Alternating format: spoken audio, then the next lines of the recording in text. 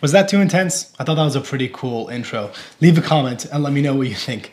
Um, my home defense setup is to use a rifle. That's my preference. So I've been looking around for different ways to be able to mount my rifle and have it quickly accessible. Now, I, the ideal option would be to have a biometric safe, which you could have quick and very easy access to, and obviously it's a safe, so it remains easily. Um, however, that still takes up a little bit of time. If you're in a position where you are able to have uh, quicker access to the safe without the worry of children getting accidental access to it uh, or something like that, you could look for an option like this. This is a 3D printed um, gun holder from a company called RadLabs3D. So I was looking around for one of these options and I found out that one of you guys, one of my followers, makes these.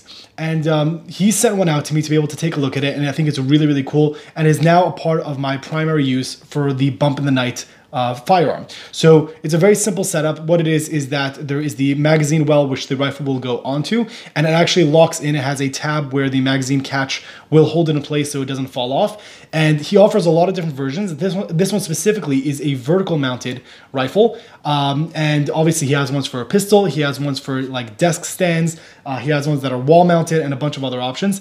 And I think it's a very simple and very cool device that you could use for your home defense setup. Now, 3D printing has gone a long way over the past few years. So when I first heard about 3D printing, which was like obviously a few years ago, and it was starting to develop, there was still a lot of kinks and issues that needed to be dealt with when it came to the quality and durability of 3D printing.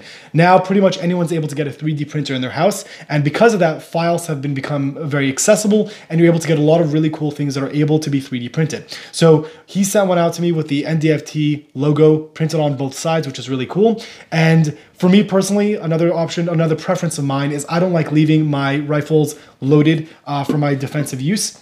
Primarily because if you have quality expensive rifle ammunition. The way i work is that if there's any ammunition that i use that's loaded into a gun right when i load it into the gun i put a six month timer on that ammunition. It's good to be able to switch out your defensive ammunition if it's loaded into a gun every six months uh, every six months. For example my carry ammo for my pistol if it's loaded and you use it as an everyday carry every six months that ammo should be switched because there's a lot of issues with potentially uh, sweat or gun oil or anything like that that could end up going into the ammunition and, damaging it. And there have been cases where there has been a problem.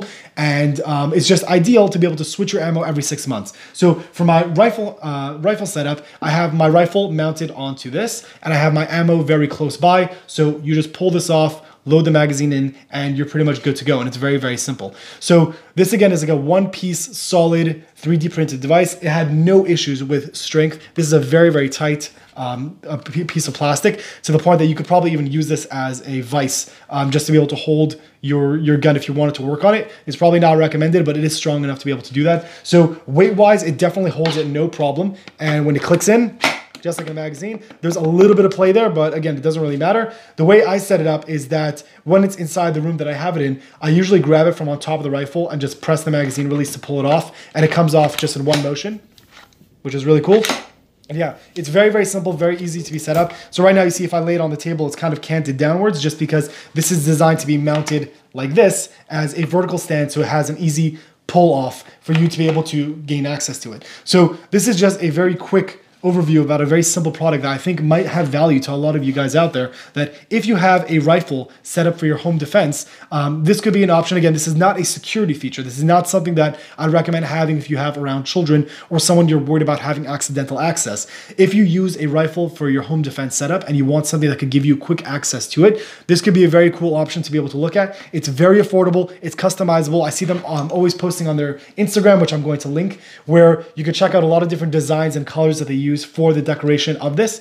Um, but it's definitely something maybe looking into if you do have a rifle, and this would be an easy setup for you to be able to have.